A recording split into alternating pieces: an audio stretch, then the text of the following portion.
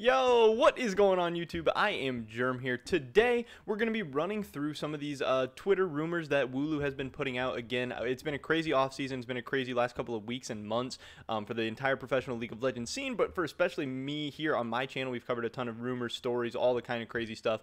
Um, we've covered a lot of uh, Wooloo stuff, a lot of his Twitter rumors and things. Um, and again, he just kind of had a dump where he, like, the offseason was over. A lot of teams have finalized their roster, so he just kind of put out a lot of random stories, rumors, whatever that he heard from the offseason that he never got to use or never came to fruition or whatever. So now they're here for us to go through, kind of speculate about and talk about while we're in this little bit of a lull during the off season. Uh, but before we get into that, I just want to mention real quick if you're not already subscribed, definitely click that subscribe button really quick. It's fast, it's free, it's easy. It helps you guys stay up to date on my latest content, and I would appreciate it a ton. It helps me out a, a lot as well, and that would be great. Um, I know it's been kind of a crazy couple of weeks uh, with this weird setup and stuff, but I'm headed back home today. We're traveling back home. Um, so things are going to be getting back to normal. We're going to hit the ground running. There's going to be a ton of content coming out in the future. Um, but with that being said, let's get right into this. Um, this is pretty, probably the last one I'm going to cover of Wooloo's uh, tweets like this. He just put out a bunch of stuff, um, mostly talking about the Fnatic mid lane situation in this one. Uh, he says Fnatic mid lane possibilities during the offseason were Perkz. That's one that obviously we knew about. Fnatic was definitely going to be interested in Perkz. If Fnatic got Perkz, they were potentially going to be um, one of the better teams in the world. Obviously, they were one game away from making it to World Semifinals last year.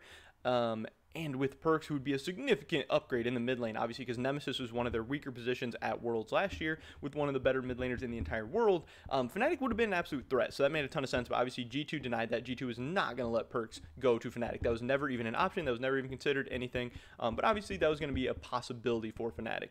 Um, obviously, Nisqy, that's who they ended up going with. I think Nisqy is going to fit really, really well into their play style. Uh, he plays that like Walmart Doinb, budget Doinb style of uh, kind of roaming around, or at least when when Doinb won Worlds, that type of style. I know Doinb is really flexible, can play a bunch of different styles, but that type of style where uh, he's not great in lane. He honestly, when he just has to play mages toe to toe with some of the better mid laners in the world, he's often at deficits. He's often getting solo killed. Not that great, but when he can kind of run around the map, when he can fly around, he can make big plays. He can facilitate for his team and that's going to be great for Fnatic. Obviously, they have carries all around. Bwipo can carry games. Upset can carry games. We know that Selfmade can carry games.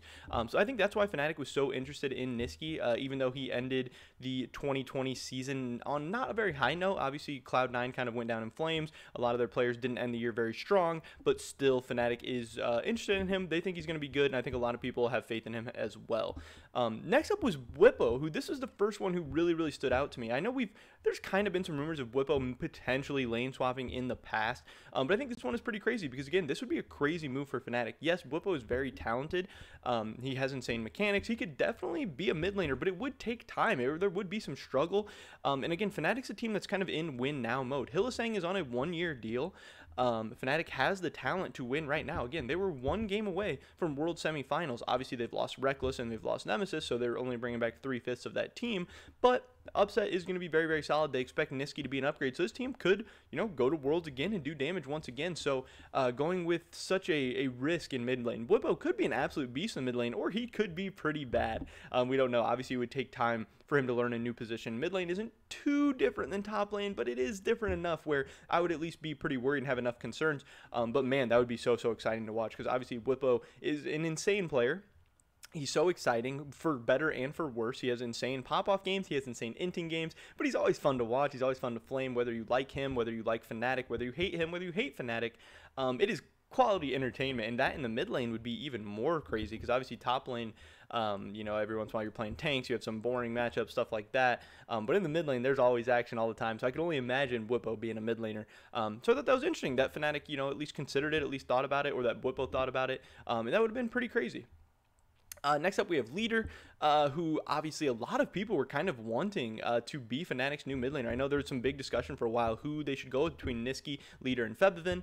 Um, obviously, Fnatic didn't end up going with Lider, but uh, a lot of people thought that they should have. A lot of people wanted them to. A lot of people thought that would have been the most exciting signing. And then people thought, okay, well, once Lider's not going to Fnatic, he's going to be somewhere in the LEC, right? But then obviously, we didn't see him get picked up by an LEC team, which is pretty crazy. He's going to be going through the European regional leagues again, uh, hopefully proving himself once again, and maybe ending up with a spot into the summer split, maybe ending up with a spot in 2022. I don't know, just a really, really crazy, weird situation. And this is another situation of uh, a top tier team considering a guy, a top tier team saying, you know, Lider is potentially good enough to start on us. And then a lot of mid and bot- bottom tier teams still passing up on him, which is absolutely crazy. It doesn't make sense that Fnatic would consider Lider to be a po- potential option for them and that no other team in the LEC would end up picking him up. Because if he's good enough for Fnatic, he should be good enough for the fifth place team in, in Europe or the seventh place team in Europe or the ninth place team in Europe, right? Like, I don't know. Something's a little bit weird to me, but it is interesting that obviously they did consider him. We kind of had heard about that over the offseason as well. Um, another option was Febiven. Obviously, Febiven is very, very familiar with this team. He's played on this organization before. It, I, am sure they like him, um, and they were interested in bringing him back. Obviously, he ends up going to Fnatic Rising. He's going to be playing in the European regional leagues. And if Nisqy doesn't work out, if the meta shifts against them, um, if the team starts struggling a little bit, or if Febiven just absolutely smurfs in European regional leagues, you know, they have a very, very solid and reliable backup mid laner ready to go in Febiven, uh, who, you know, would be not a bad replacement and would probably fit into this team just fine. Um, so I think Fnatic has two real, real solid options in Nisqy and Febiven ready to go for the mid lane, which again was their biggest question mark last year at Worlds. Uh, it kind of reminded me of just, we're starting to see some more teams do this. Obviously, TSM's doing it with uh, Huni and Hauntzer and Cody Sun and Lost. And I think more teams should do this as well. Yes, you want your academy team uh, to be a, a place to develop young talent. And it can be. Just because one position is being used as a solid backup doesn't mean you can't develop four other positions or three other positions or two other positions. Um, because while you do want to develop talent for the future, you also want your main team to win right now. And this is a thing we see in all professional sports is solid backups being ready to go. Um, if something happens, if players don't work out, if synergies don't work out or whatever, instead of just ruining your whole season, you can have a solid backup ready to go and still save your season. You can be building towards the future in other positions and still giving yourself a solid plan B to help you win this season. I think that's something that just makes a ton of sense. I think it's really something more teams should be doing rather than just uh, spitballing at five completely young random players, um, especially at a position that you have no chance of playing. Um, you know, I, I, think more teams should, should look at stuff like that. And I, I do like what Fnatic's doing because, again, Nisqy's going to be a big question mark. He could come in and be a beast in Fnatic, but he could also come in and not be very good depending on how well he plays, how well he shifts back to Europe, um, what the meta is, and how he synergizes with Fnatic. Uh, so it's nice to have Febiven ready to go. Uh, again, interesting that they considered MagiFelix. I don't know how hard they would have considered him. We've heard um, you know, issues with him behind the scenes, maybe having anxiety issues, maybe uh, not being able to play on stage all the time. Um, it really affecting his play between solo queue, where he's obviously a beast, and the European regional leagues, where he's obviously a beast, um, and actually being able to get on stage at the LEC and being able to play at Worlds and stuff like that. Um, but he's obviously very, very talented, and it's weird that he still hasn't been picked up. Um, but he said he is interested in playing any of the five positions uh, in the European regional leagues, which is crazy. He's definitely talented enough to do so. Um, but we don't see stuff like that very often. Um, and then finally, Zico, uh, who is the mid laner, I believe last year for Movistar Riders, um, but he is a young upcoming prospect. We heard him that uh, TSM was potentially considering him for the mid lane position. I don't think he's quite yet ready. He didn't look too great at European Masters, um, but obviously people see a lot of potential and talent in him because uh, TSM considered him, Fnatic considered him. These are some of the you know the better teams in their regions are considering this guy. So I do think that's interesting to hear that another team was considering him. But I'm not surprised that they didn't decide to go that way.